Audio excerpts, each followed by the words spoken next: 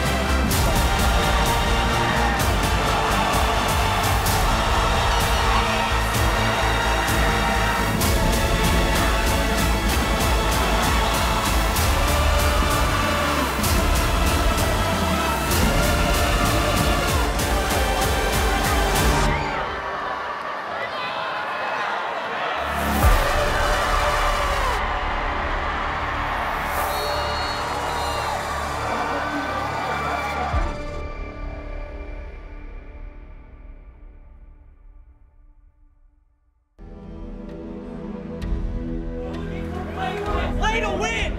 Put the pedal